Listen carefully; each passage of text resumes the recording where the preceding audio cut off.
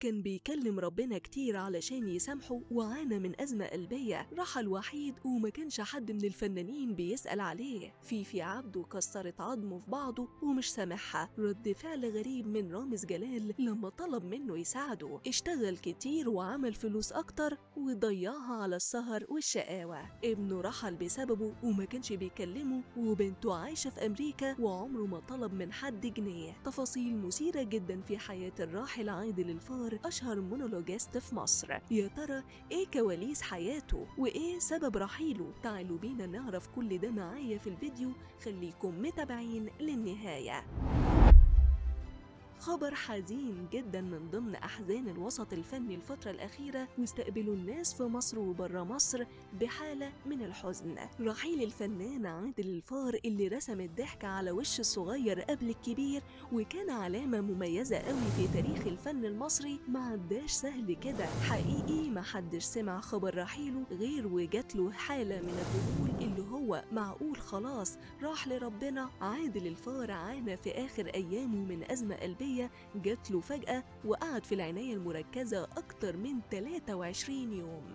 بس للأسف حالته كانت يوم عن يوم بتسوء أكتر وأكتر لحد ما فارق الدنيا. تم تشييع جثمانه من مسجد القوات المسلحة في مدينة نصر وكان متوقع يحضرها عدد كبير من نجوم الفن بس ده ما حصلش وحضر الفنان منير مكرم وأفراد أسرة الراحل وكانت زوجته منهارة وقتها.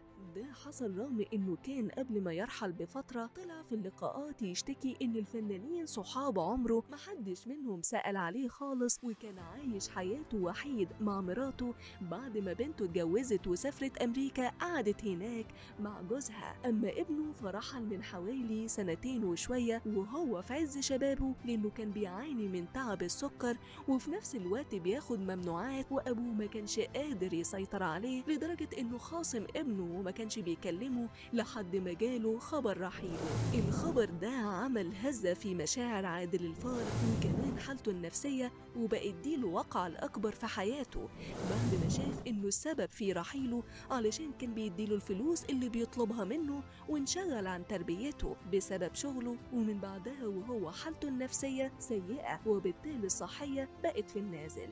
عادل الفار بدأت مسيرته الفنية في فترة الثمانينات. كان بيطلع يغني في الأفراح وأماكن السهر لحد ما ربنا كرمه في التسعينات وشارك في أعمال سينمائية وقدم فيها دور المونولوجيست وبعدها بدأ في أداء الأدوار التمثيلية بالتلفزيون.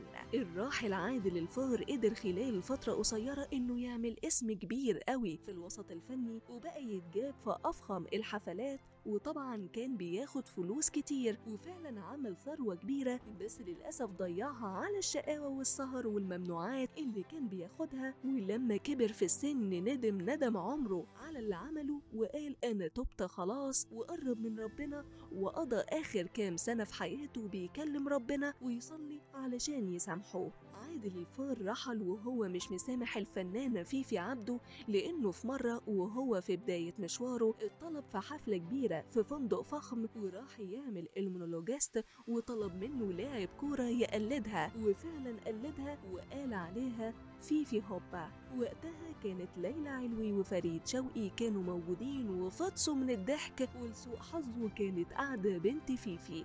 وطلعت جري لأمها اللي كانت بتقدم فقرة فوق وحكت لها اللي حصل.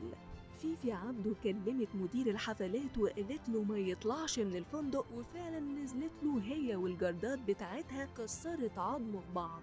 عادل الفار كان أنتيم رامز جلال ولما الشغل قصر وما بقاش لاقي فرصة كلمه وقال له إيه يا عم ما تشوف لنا حاجة الدنيا واقفة خالص. بعدها بكام ساعة اتفاجئ إن رامز بعت له ظرفين مع مدير أعماله واحد منه والتاني من أخوه ياسر وكل واحد فيهم فيه 2000 جنيه. عادل زعل جدا وحس بالضعف وبعتهم له وقال له أنا أقصد إنك ترشحني لأعمال فنية معاك مش فلوس بس. رامز وقتها أصر إنه ياخد الفلوس وقال له خيرك عليا كتير. الله يرحم عادل الفار ويصبر أسرته ومراته.